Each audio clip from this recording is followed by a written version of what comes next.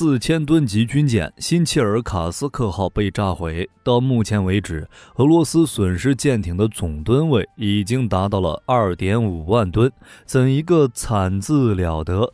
问题来了，为什么黑海舰队的结局那么惨？乌军是如何一次又一次突破克里米亚防空的？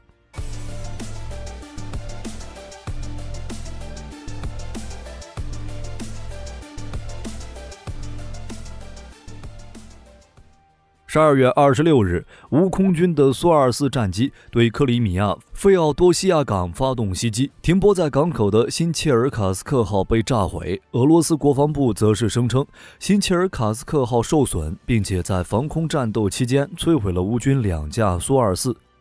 划重点：受损。按照以往的惯例，俄罗斯国防部的回复应该是轻微受损。要知道，二零二三年九月，俄罗斯的明斯克号登陆舰。与顿河畔罗斯托夫号潜艇遇袭之后，俄罗斯国防部都表示问题不大，这两艘舰艇只是轻微受损。实际情况如何，各位也都清楚。虽然没有当场沉没，但是已经失去了维修价值。从这点来看，俄罗斯国防部表示受损，也就意味着新切尔卡斯克号已经凉透了。乌克兰媒体《防务快报》。在十二月二十七日报道，新切尔卡斯克号的上层结构已经全部被摧毁，船体不仅被大规模摧毁，而且还彻底反转了。翻译一下就是没救了，等死吧。这就有一个问题：为什么乌军可以成功摧毁新切尔卡斯克号？十二月二十六日凌晨，乌空军苏二四从旧康斯坦丁诺夫起飞，并向东飞行，之后出现在尼古拉耶夫地区。有意思的是，之后苏二四在空中盘旋了大约半个小时，大概率是在等目标确定消息。发射导弹时，苏二四被俄军雷达探测到，但是巡航导弹成功突破拦截，命中俄军新切尔卡斯克号。第一次爆炸发生在凌晨两点五十分，乌军发射的导弹命中新切尔卡斯克号，导致舰上起火。在三点三十分，新切尔卡斯克号再次发生爆炸。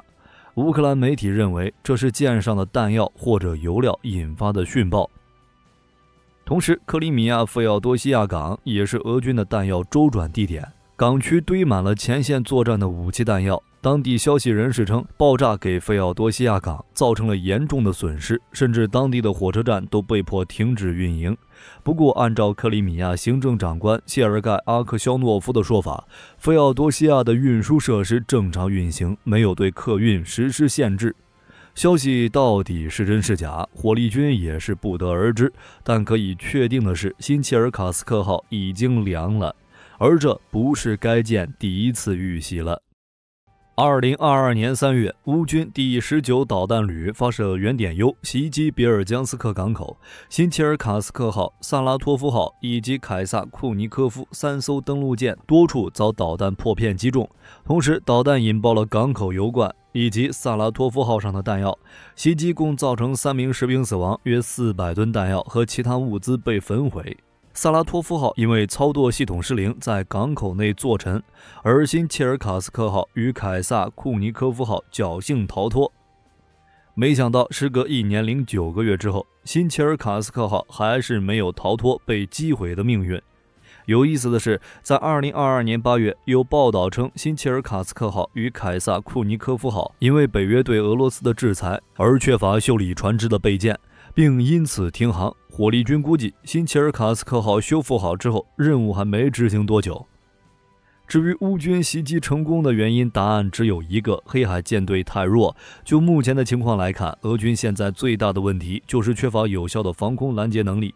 目前，黑海舰队一直处于避战状态，大量舰艇躲在港口内，面对的威胁反而增多，比如来自乌军的无人机、自杀式无人艇、远程巡航导弹等等。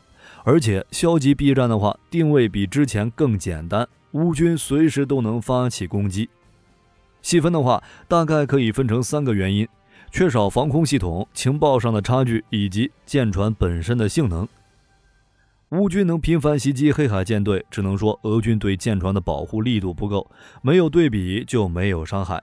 克赤大桥遇袭之后，俄罗斯采取了 N 种方法，保护手段不断升级。第一步部署 S 四百，第二步布置水面拦阻网等障碍物，第三步在克赤大桥附近自沉船只，通过他们组成的屏障来阻挡无人艇的袭击。这些措施到底有什么用？火力军暂且不提，但是这一连串动作也就证明了俄罗斯对克赤大桥的关爱程度。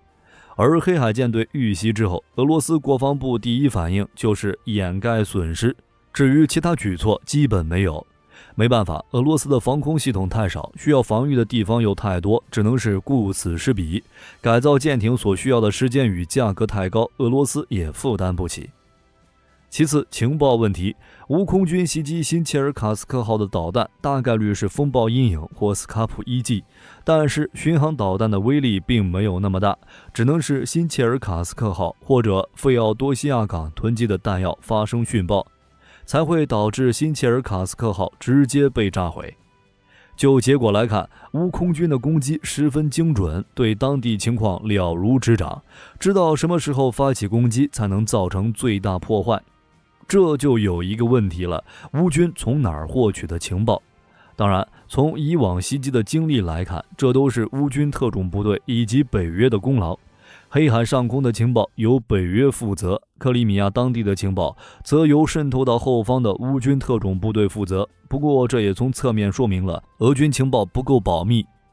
最后就是舰船本身的性能了，新切尔卡斯克号实在是太老了。该舰是苏联时期的产物，防空能力基本为零。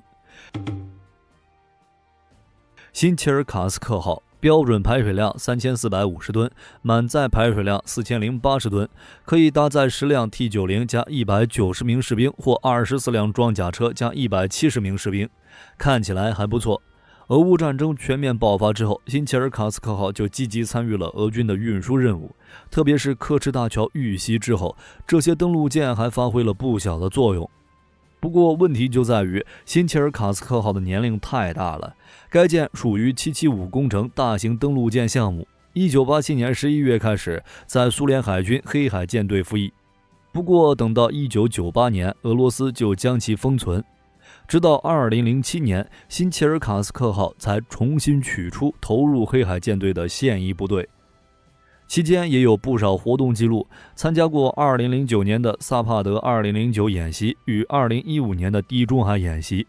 在2020年3月，新切尔卡斯克号还与凯撒库尼科夫号以及格里格罗维奇海军上将和马卡罗夫海军上将号一起出发前往叙利亚。看起来还行，实际上只是装个样子。新切尔卡斯克号的舰龄已经达到了三十六年，并且中间没有进行过升级改进，性能可想而知。其舰载武器为两门 AK-725 加农炮，两套三十连冰雹火箭弹发射器，防空导弹则是两座 SAN-5 防空导弹，也就是四连装的真实。拦下无人机或许还有可能，导弹就别想了。这三个 debuff 加上之后，俄罗斯舰船根本撑不住。而且因为黑海舰队装备的三艘775、三艘1171和一艘1171点一型登陆舰运力有限，北方舰队和波罗的海舰队还曾调拨不少登陆舰支援。二零二三年八月，就有一艘北方舰队的七七五型，也就是奥列涅戈尔斯基矿工号，被乌军无人艇重创，修复无望，估计已经报废了。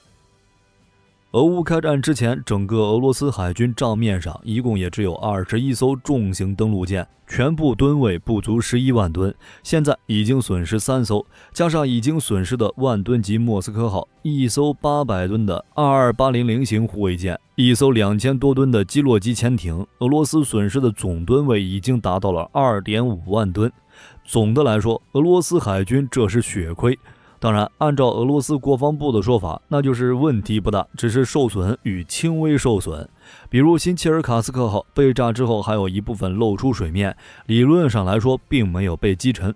如果俄罗斯海军很有钱的话，可以不惜代价捞出来大修，新切尔卡斯克号自然还能再战五十年。好了，这期视频到这儿就结束了。各位认为俄海军舰艇频繁遇袭的根本原因是什么？可以在下方留言。如果内容有不对的地方，各位也可以在下方指正。我是火力军，下期见。